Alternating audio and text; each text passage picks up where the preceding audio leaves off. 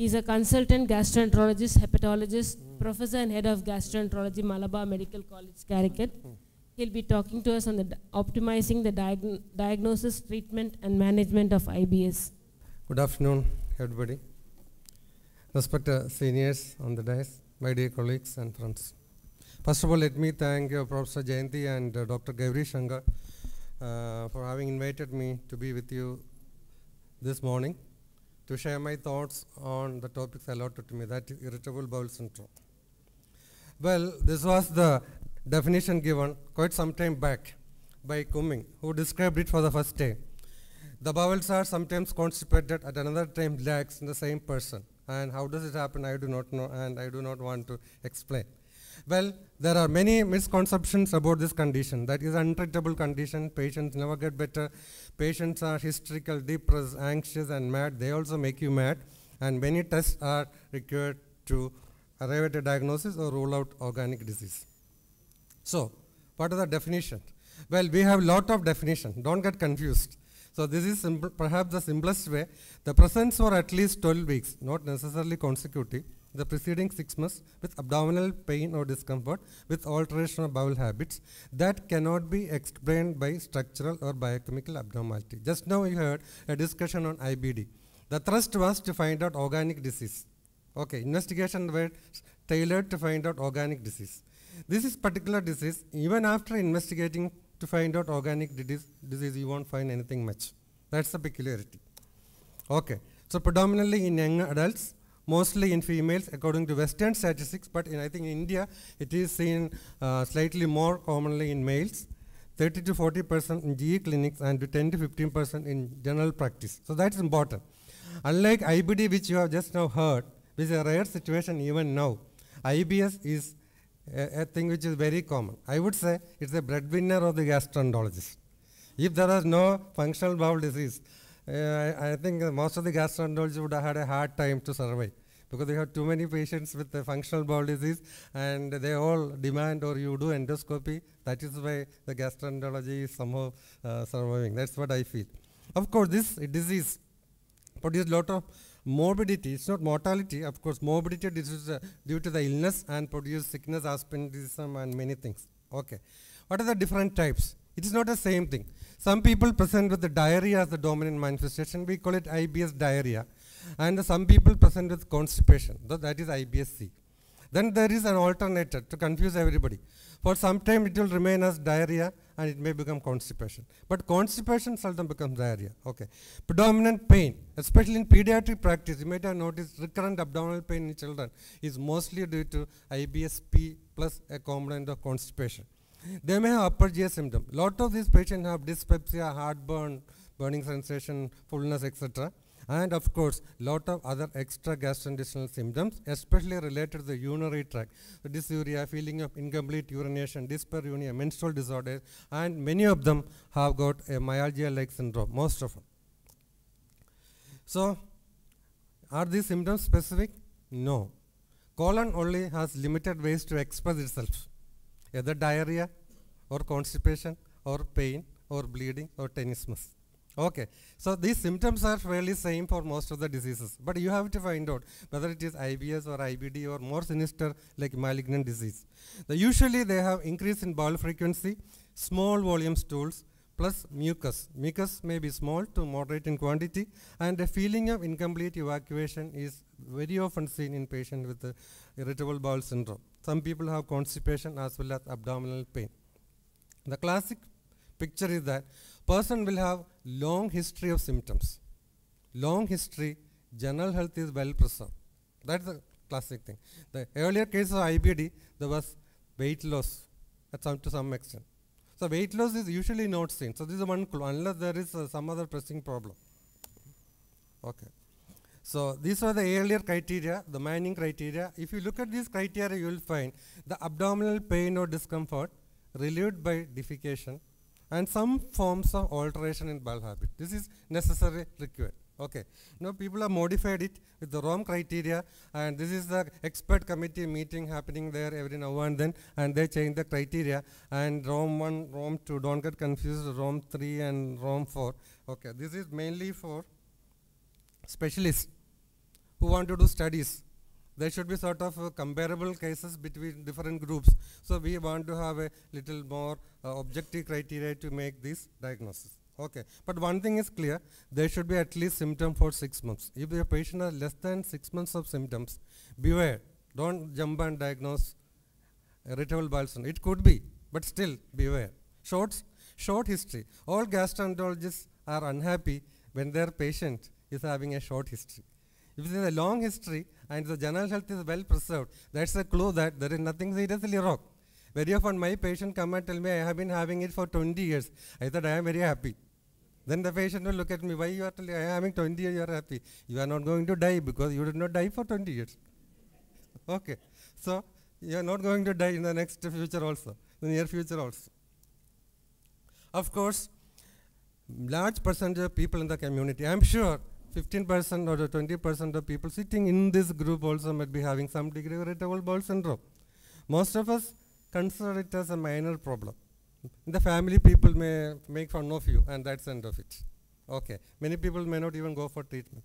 But around 25% of people have significant symptoms which make them consult primary care physicians as well as specialists. Okay. So they have more physician visits per year for GI symptoms and as well as for other symptoms. They miss more work days, sicknesses. Children miss class due to the uh, increased gastrocolic reflex and problem happening soon after breakfast. Uh, they put the dress, again put it, pull it down, again put the dress, again pull it down, like that two, three situation. The parents call them. Then in the school also they may get uh, enough scolding. Okay, and uh, most of the kids are not very happy to go to the toilet even if it is available in the schools because others will make fun of them. Okay, that's another problem. So this, this, this actually adds to the emotional stress of the person who is suffering. So people who have IBS definitely have less productivity and uh, it, it actually affects the work. So even though the disease is not serious, they are bothered about their symptoms and they are not able to put up with the right right quality of work. So the quality of life of person with irritable bowel syndrome is almost like that of somebody with a depression. Okay, look at that curve, the lowermost portion. Okay, leave it. So, why it happens? So, something, because there are PG students in this uh, group, I would say something about the pathophysiology. It is believed that people with irritable bowel syndrome have enhanced visceral sensitivity and enhanced perception. Okay, you all know what is hyperacusis. Okay, especially this is one thing which you don't want your spouse to have, hyperacusis. Okay, so hyperacusis is uh, something like that of the colon or the intestine. It is very sensitive. It is sensitive to environment, external, internal, and it perceives in the brain also in a better way. Okay, so sometimes I wonder whether the people with the IBS have got more intelligence and uh, more uh, capabilities, but it doesn't seem to be happening. It's only for IBS they have got this enhanced sensitivity.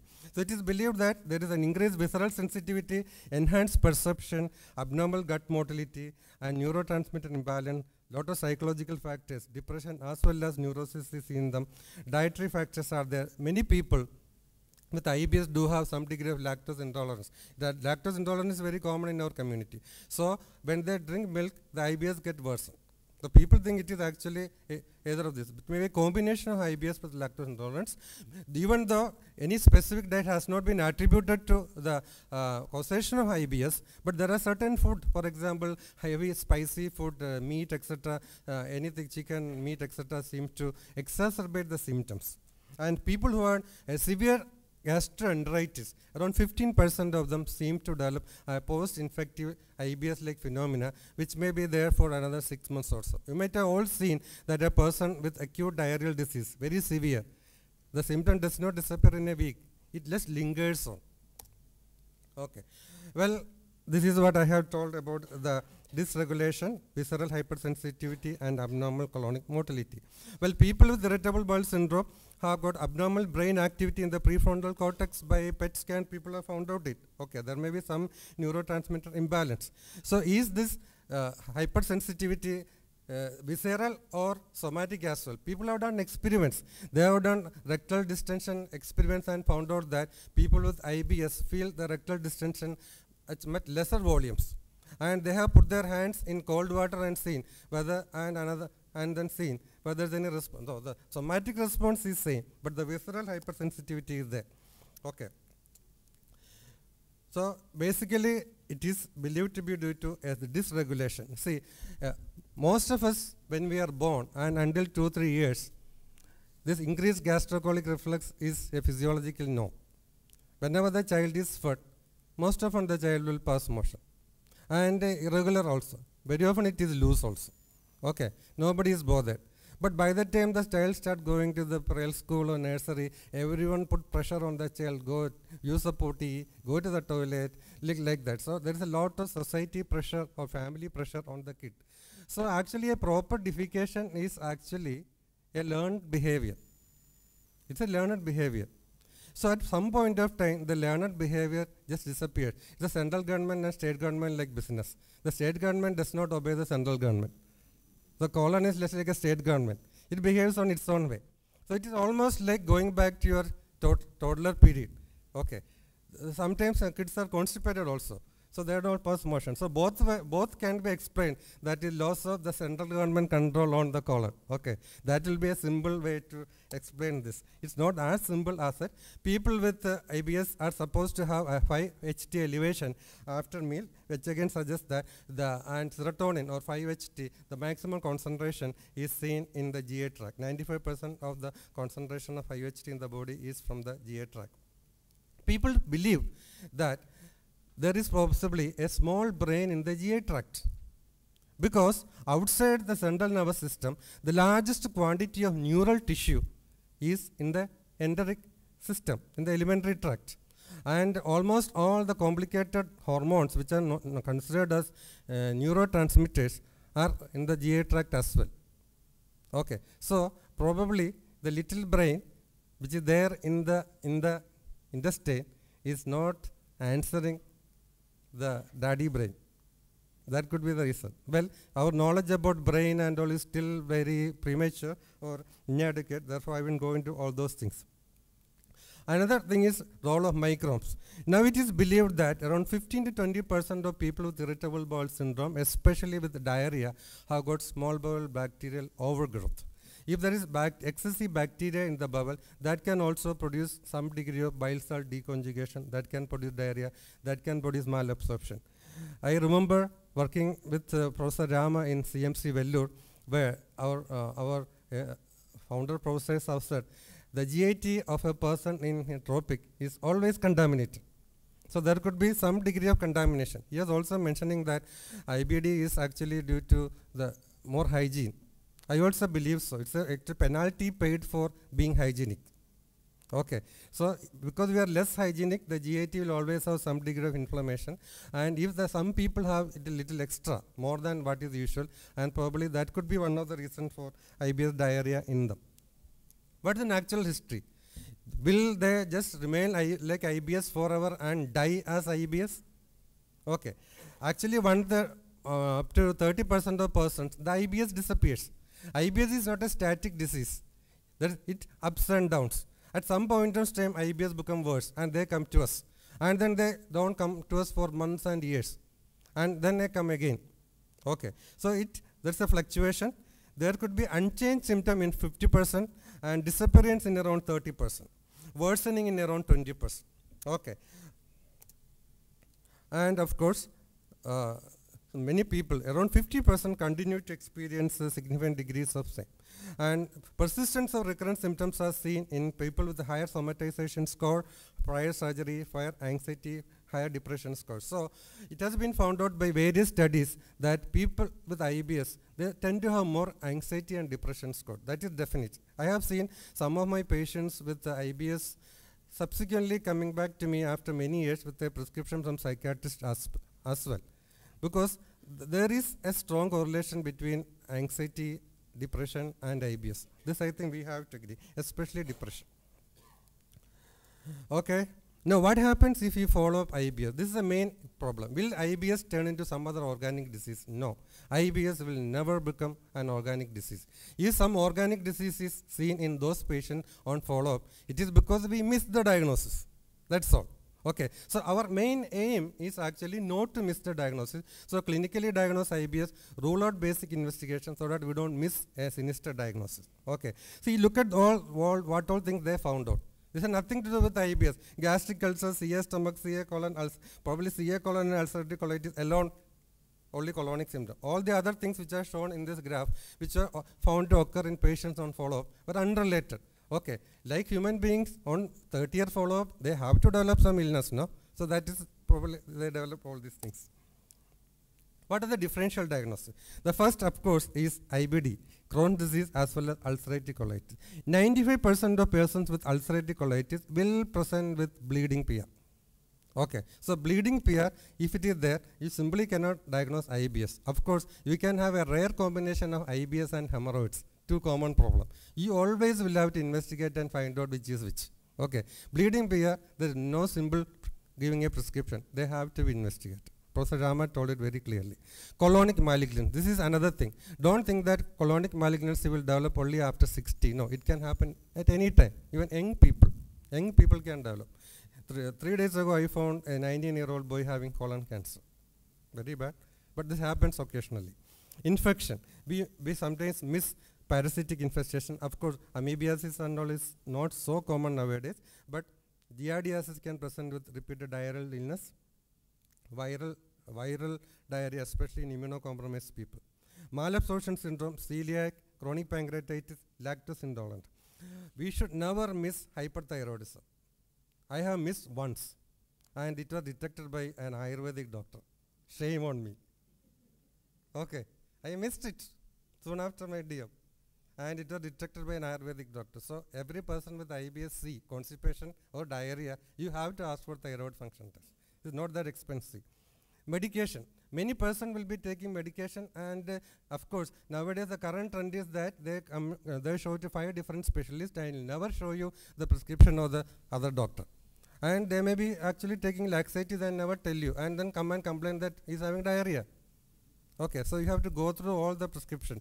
Laxative use with knowledge, without knowledge. Many people do not know it is a laxity also. This happens. Then pelvic floor dysfunction is a condition where you have a person with uh, disorder of evacuation. The person will find extremely difficult to, it's constipated people, they have mucus PR, very difficult to evacuate. They know the rectum is getting filled and they have to use lot of abnormal maneuvering to get it out. Sometimes they have to do fingering as well. Okay, digitation is one strong history which will suggest there is pelvic floor dysfunction. This can happen in females with uh, uh, rectocele, vaginocele, etc. Uh, uh, so, uh, pelvic floor dysfunction is an important differential diagnosis we have to entertain. So, what are red flags?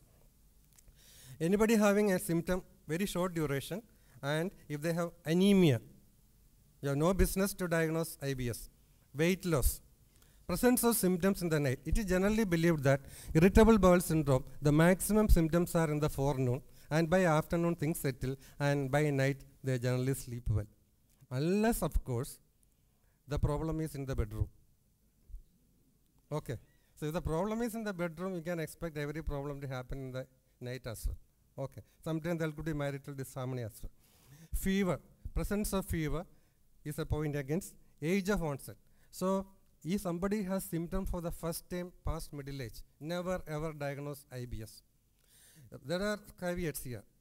A person who retired just like me, who are just now retired, can go into depression if, if you don't get a good job or if you don't get a good send off, etc.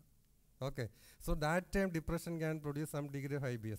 But other than that, generally for the first time IBS will never occur in a past middle age. So first time occurrence of GI symptoms in a past middle age always rule out organic disease. Okay, family history of colon cancer and IBD if there is the family, I think we have to uh, respect the symptoms and investigate for organic disease. Palpable rectal mass, persistent severe diarrhea or constipation. You are given treatment for a month or so, nothing works. I think it's time to send the patient for investigation. Bleeding and stool OB positive. So these are the situation where we think it is not irritable bowel syndrome and there we have to rule out organic disease. So how will you investigate? Well, we don't have to do all the investigation in all because ultimately upper GI endoscopy, colonoscopy, CT scan is the thing which is available for us. Okay. So blood routine will give us a clue whether there is anemia. C-reactive protein will give us an idea whether there's an inflammatory activity and sometimes ESR. ESR is not a good indicator uh, say organic disease. I have seen it normal in person with advanced uh, malignancy as well. Then at least a limited colonoscopy should be done, but ideally if there is uh, uh, significant symptoms or doubt of blood, if there is any anemia or any red flag, they should all have a full-on colonoscopy. I don't say that every person with IBS should have a colonoscopy. No, I think you have to differentiate. Anybody with red flag, persistent symptoms, uh, some uh, abnormalities, biochemistry or uh, hematology, you have to refer them for colonoscopy. Thyroid function, as I told, and of course psychological assessment. I vividly remember having a person who is again past middle age coming to me regularly for a repeat prescription. I used to write the same, uh, whenever I ask her, she said, okay, I am fine, I am fine. And I used to write the same prescription and uh, put the money in the pocket. Okay. And this was going on for many years. And to my horror, I found her photo in the obituary page. Then I was thinking, okay, she might have died of myocardial infarction. The last line in that obituary was very disheartening. It said, she died of intractable GI disease. But I found out, yes, I thought I was treating her beautifully well and pocketing her money. Okay, she was telling all right, all right. But then I, she was staying mm, little close to my house. So I indirectly enquired and found out what exactly was the cause of death. And found out that she committed suicide. Yes, she was actually having depression, which I did not diagnose. Okay, this is very important. So if at any time during the history taking, the person shows depression symptoms or suicidal tendencies, always get psychological help because most of us are incompetent to treat depression. Even, uh, even if we treat depression, we give homeopathy dose, which make them only sleep. It will never treat her depression properly. Okay, so we may have to get psychological help. So IBS management require a positive diagnosis. This I have learned from my professor. So what a positive diagnosis means, all the tests will come as negative. And how can you say positive diagnosis? The person will be extremely unhappy with you. Because they wanted some positive diagnosis and nothing is there. All the tests are negative. Okay. Then you, of course, sit, relax in your seat and uh, then your show acting starts. Okay. Then my process is all tests which we have done, look for organic disease is negative. But it does not mean that you don't have any problem. Okay, that is very convincing. That is a problem. Okay. Then you tell in very, uh, very chaste Malayalam, which is grammatical way, this is, I will tell it in Malayalam and then subsequently translate it into English. I can't say the same thing in Tamil. കുടലിന്റെ ഗമനാഗമനത്തിലുള്ള പ്രശ്നമാണ് okay so this actually means this is a motility disorder connecting with the rhythm and motility of the intestine okay the patient actually get impress because something has been found out instead of saying everything negative okay and they go away happy Oh, until last our aim was say no no no everything is negative no so say positive this is one of the positive diagnosis i have found out your problem you are having irritable bowel syndrome this used to work earlier but now they come with the printout from the internet because they themselves come and say i am having ibs please treat me then that's a real big issue so establish an empathetic physician-patient relationship. That's very important. At least during the first, second interview, you have to spend reasonable time with them. You have to find. I have seen, if you are very busy, we'll ask them what are the symptoms. We'll hear them for one minute. We'll examine them for one minute, and then we'll write the prescription or whatever for one minute. And in five minutes, they are out, including the charging. Okay. Understand? But that's not enough. We have to interact them for a little longer we have to find out what is there any stressful factors. There are many times the people will not divulge things on the first visit. You may have to keep on asking. During the second visit only, when they feel confident in you, they will start divulging things. There are many times they have told things. No, I have heard so many stories from patients which will form plots for so many cinemas. Okay, new, new plots, no, new storylines. Nobody has even thought of such stories. Okay, such great happenings in their family. So, and once, in fact, there are people who start, people who are very courageous and all those things start crying. When young males start crying, it is a way of letting out. Once you achieve that, I would say it is your success. But nowadays you have to be careful, especially when a female runs out of your consultation room weeping and all. so you have to make adequate precaution that the nurse is also there. Okay. okay, then identify associated factors and treat anxiety, stress, depression, social phobias, panic disorders, substance abuse, previous sexual and physical abuse. These are the aspects which they won't tell you unless you actually probe in. Okay. And you have to do it very deftly. Okay. Now, what are the dietary recommendations? Is any particular diet of use? I will finish in the next couple of minutes. Okay. Now, no particular diet has been found to be of use. But here again, you have to be very careful. During the history taking, you have to carefully find out what are the real items creating problem for them. Okay. And in your advice, repackage it and tell them, don't take that, don't take this. Okay, because you have already from the history found out what all things really create problem.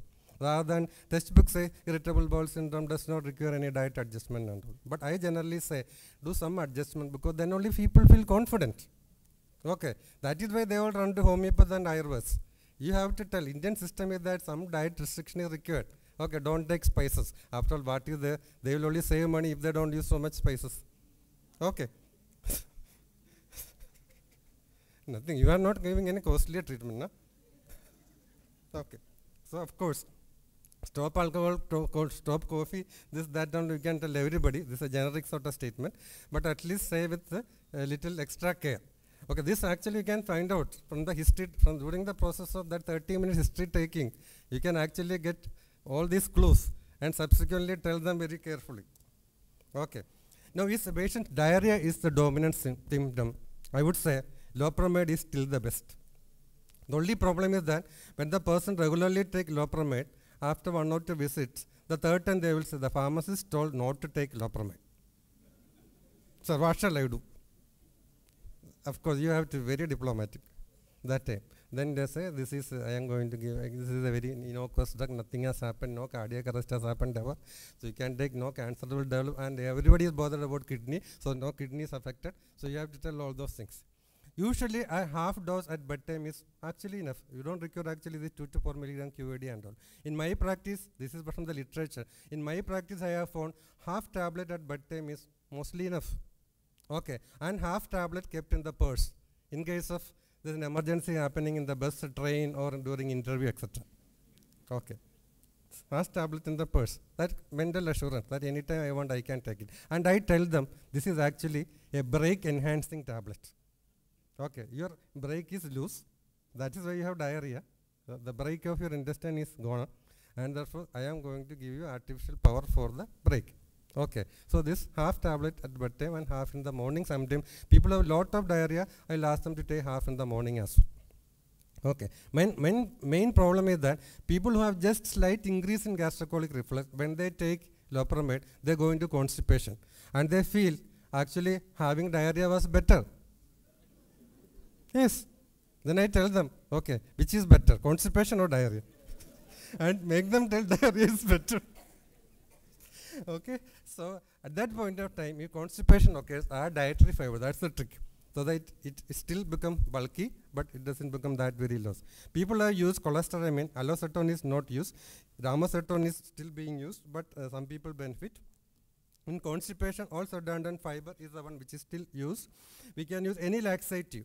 If somebody has got hard pelleted stools, use something which will produce loose stools, stimulant laxatives or osmotic laxatives. The rule is that they are very unhappy with hard pelleted stool. They sit for long time. Okay, make it loose.